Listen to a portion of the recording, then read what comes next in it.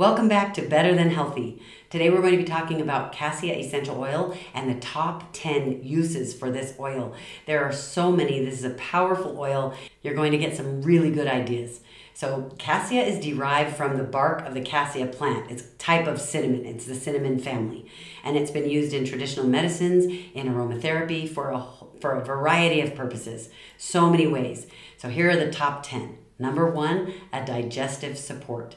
Cassia oil can be used to support if you, cassia can be used as a powerful support if you have air pockets in your gut, if you are, if your stomach is expanded, if you, if you're having challenges with your digestive system, it is really great for any challenges with your gut.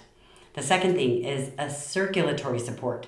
Cassia is known to help support circulation, which can provide relief from joint and muscle irritation. And when it's diluted, you can apply it topically. You can also put it in a glass of water and drink it. You can put it on the bottoms of your feet. It is considered a hot oil, so be careful. You don't want to put it directly on your skin. That's called NEAT, N E A T. What you want to do is use uh, coconut oil. I like fractionated coconut oil because you regular coconut oil at room temperature is hard. It's kind of hard like a bar of soap. But if it's fractionated coconut oil, then what happens is they have taken the molecular structure and they've pulled the molecules apart. They haven't taken anything out, they haven't added anything in, at least with doTERRA's. So it's completely natural and it people call it a diluter. It doesn't really dilute the oil. The power of the oil is the same, but the but the coconut oil makes it feel like it's diluted so that you can put it right on with the coconut oil. And they call it a, they call the coconut oil a carrier oil. Cassia is awesome for unwanted microorganisms in the body, on the body. It has been shown to have these properties, which makes it useful for any of these types of things, whether it's inside the body or out. The fourth one is a mood enhancer.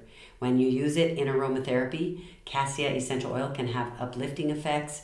It's a support for feelings of deep sadness or if you are not motivated and you feel like you're having a hard time wanting to do anything. Number five, cassia oil can be used as a support for help in toning and tightening tissues.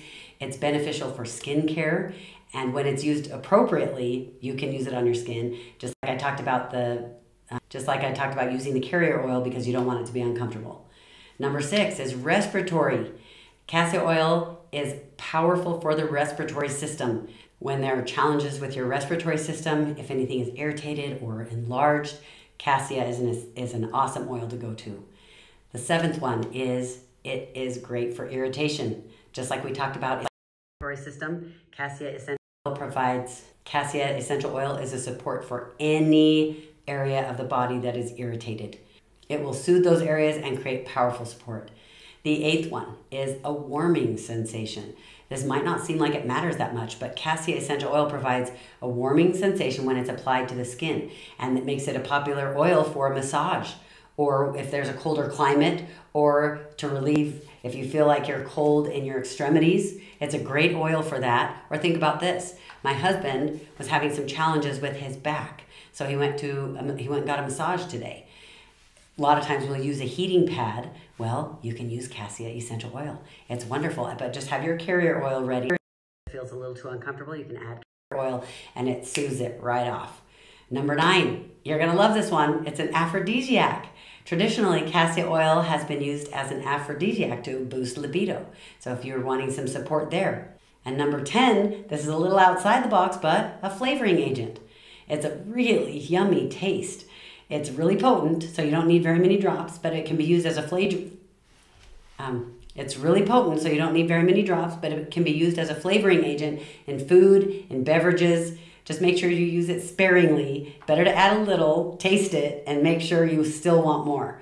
My husband made spaghetti sauce. He was making homemade spaghetti sauce and he used the oregano oil. And doTERRA's is very potent because it's the highest quality. So he was trying to call me actually. I was traveling internationally. He was trying to call me to find out about how many drops I, he should use. And I've done this before, so I knew like a fraction of one drop. Well, he didn't get a hold of me because I was in the middle of training. And he used four drops of oregano essential oil. And when we finally did get to talk, he told me, he said, and don't like to waste things.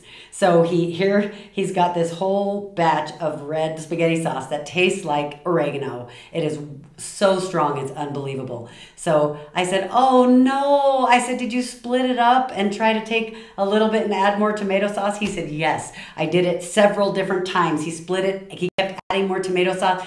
It's still it was way too strong. He said it was probably enough for 10 dinners of spaghetti sauce and he had to throw it away. It was so sad. It's really potent, which means it lasts a really long, long time. So that's awesome too. And I want you to try these different ways of using cassia. Let me know what you think. Would love to hear back because I don't want you to just be healthy. I want you to be better than healthy.